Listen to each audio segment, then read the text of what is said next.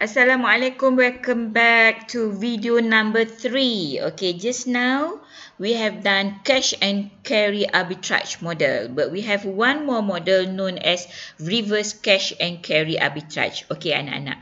If you can recall just now what we have done, all, all the situations happened uh, overvalued. Okay, so bila overvalued, what does it mean? Futures contract mahal. So we sell futures contract and we will, we will buy real physical CPO simultaneously. But what if?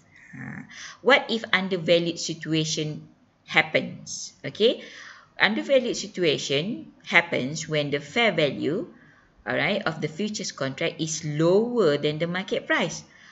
Alright, market price murah, harga sebenar mahal. So when the market price or the actual price, alright, traded uh, is lower, what does it mean? We should buy or we will buy futures contract and simultaneously today we will sell physical CPO.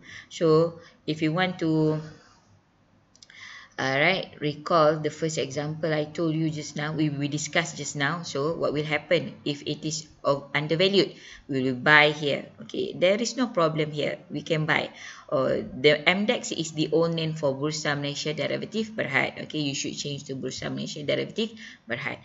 Previously, dia panggil Malaysian Derivative Exchange. But now, Bursa Malaysia Derivative Berhad. Okay, fine. Okay, since we buy futures contract here, simultaneously we will sell the physical CPO here. But the problem is, okay, see, wait, the problem is here. Okay, why? Because you are only arbitrager. You are not the real owner of CPO. When you are not real owner of CPO, you don't have the CPO to be sold. You cannot sell something you do not own. Alright, we cannot sell something we do not own. We cannot something, uh, we cannot sell uh, CPO that belongs to someone else because why short selling is prohibited in cash market. Okay, so if undervalued contract happens, no arbitrage can be done. So as far as as far as I'm concerned, okay, there will be no undervalued situation. Alright, dalam soalan exam ke test ke, alright, there will always be overvalued situation. But let's say you have calculated correctly properly and you still get undervalued situation you you look at the marks given. Kalau markah dia setakat 2 3 markah confirm tak tak ada arbitrage boleh buat. Tapi kalau markah given is 10 to 15% meaning to say alright you have calculated it uh, wrong alright?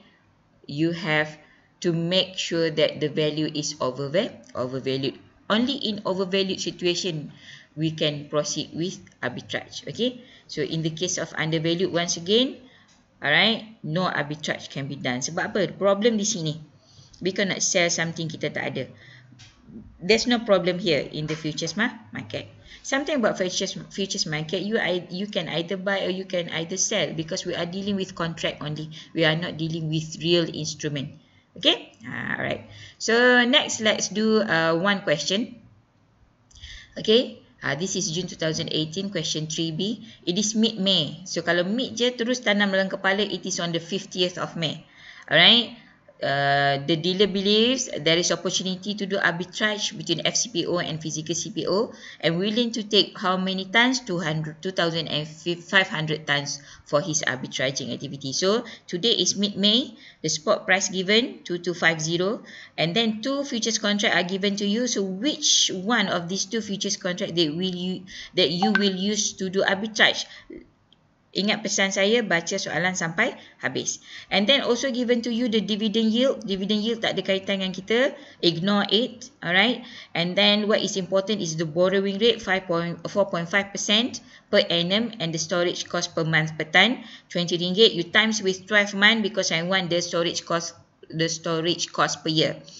Alright. So, so let's take, uh, let's take a look at the last one dia kata apa? Determine whether the July so August tak ada kaitan boleh potong. Alright? Only July FCPO sebab the question is whether the July FCPO is fairly priced or not and create the arbitrage strategy. And finally calculate the profit from the strategy undertaken. Okay? Alright so let's take a look at the answer. How to calculate? First we will start with fair value. Ha first and foremost we have to calculate the T Before you can calculate fair value, calculate the number of days to maturity. So, write down May. May bermula 15 sampai 31. So, 17 days all together. Why 17 days? Include, you have to include 15 hari bulan. Tak percaya kira guna jari you. 15, 16 sampai 31. 17 days. And then June, the total month 30 days. And July, of course, maturity 15 hari bulan. So, it stop at uh, day 15. So, the number, total number of days is 62 days. Sampai-sampai tu kira terus number of contract 2500 over 25 you get 100 contracts. And then barulah kita masuk dalam formula belaka ni. Alright, so you will get how much? 2,308. Compare with the market price, again you get overpriced. Therefore, we should sell July FCPO and buy FCPO, uh, physical F, uh, CPO today simultaneously. Alright, okay, you come up with the outline, put everything there, write properly, you buy and you sell. Alright, and then just uh, redo the same uh, solution here hold the 2500 ton of CPO and then deliver alright to the through the clearinghouse for cash and these are the solution okay alright okay the solution first is the revenue from selling the futures contract. Alright 100 contract times 25 times 2230 you get 5.825 million.